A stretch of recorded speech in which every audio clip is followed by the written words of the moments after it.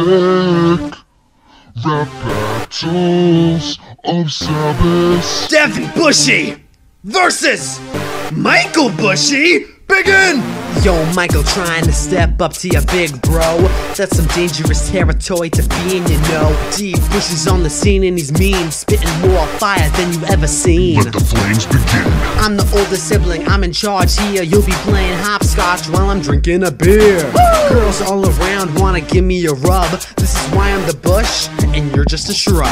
That was cute, bro, but now it's my turn to rhyme. Our parents made me because they got you wrong the first time. You think cause you're older, you can tell me what to do? You're just jealous I can get more ladies than you. Oh, sure. I'll bite you in the balls and knock you down to the floor. The bitches are all over me, and that's for sure. You'll probably end up with some ugly hag, and you'd win this battle, but you can't beat this swag. You're not even in high school. You're like seven years old, and I know you're smaller down there, so just do what you're told. Winning this battle is gonna be like a piece of cake, and mom and dad didn't want me to tell you, but you were a mistake. You got a lazy eye, you're crazy guys, so keep your mouth shut.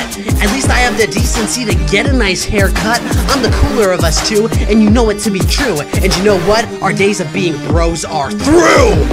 Who do you think won? Comment below. Bro, you didn't really mean that, right?